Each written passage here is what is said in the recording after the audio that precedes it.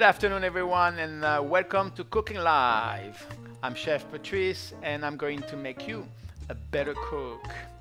Making the perfect French onion soup.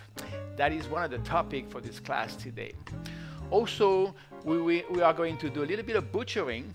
I can't wait to show you how to cut a lamb chop out of a rack of lamb. Of course, on the menu, we're gonna have also soft polenta, pan-seared arugula with sauteed oyster mushrooms. Um, it's gonna be just beautiful with that lamb jus with rosemary. So let's not waste any time. Uh, the first thing we want to do, of course, uh, we want to work on the rack of lamb to create our trimmings for the rosemary jus. Let's get the ingredient list up on the screen and let's start cooking. For butchering, you want to get your, your best knife, a very sharp knife, of course, okay?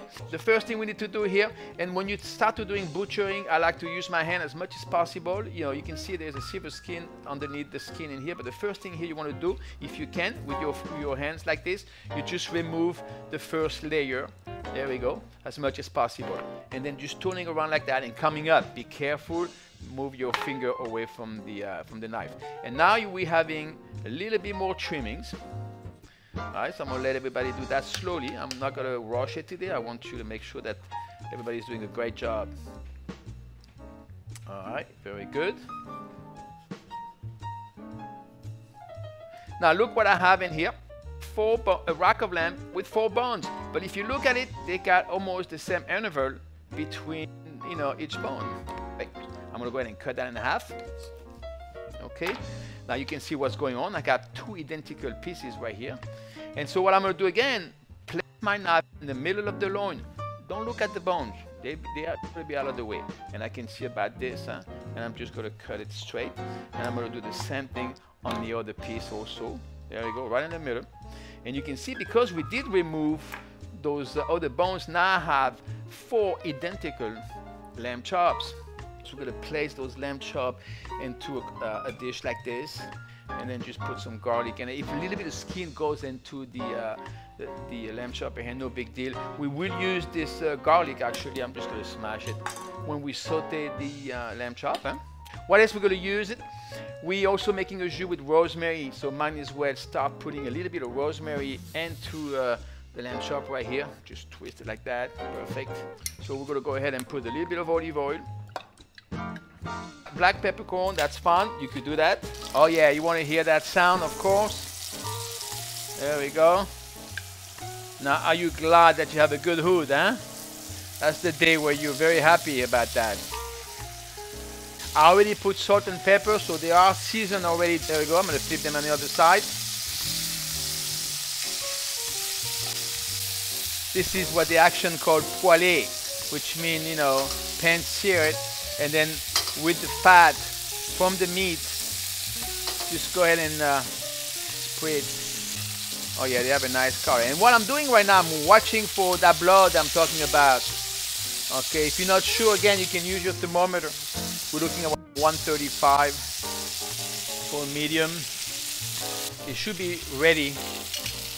Now let's get a close-up in here. I want to show to everyone a little sign in here but if you're using your uh, onion soup bowl, what we're going to do is put the crouton and a slice of cheese on top of the crouton and then more shredded cheese. That slice of cheese will hold everything together. And then you take a little bit of parm, a little bit of uh, of a gruyere. Yeah, you're gonna tell me this is a lot of cheese. This is what makes the onion soup. okay, go straight in the oven. You can't wait when you do that. You have to go straight in the oven okay? And the oven of course should be set up on the on the broil and you're gonna leave it there until the cheese start to bubbling up and get some good color. I think I'm gonna take it off now.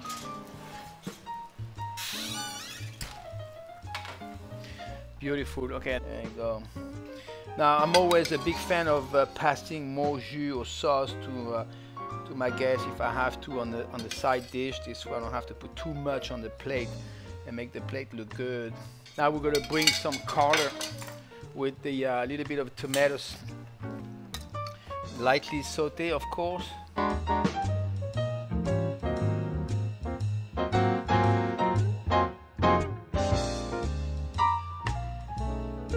The bouillabaisse next week and also apple strudel. We are, it's the season of the apple. They're all over the market. They're beautiful. So we're to start with the bouillabaisse, the apple strudel with the ice cream, vanilla ice cream, and also some caramel sauce on top of that. So please, guys, uh, don't forget uh, next Saturday at 4 o'clock Eastern Time on Cooking Live. I will show you how to make those two dishes perfect like you always do. All right. So until I see you next week, have a nice week and uh, enjoy your meal.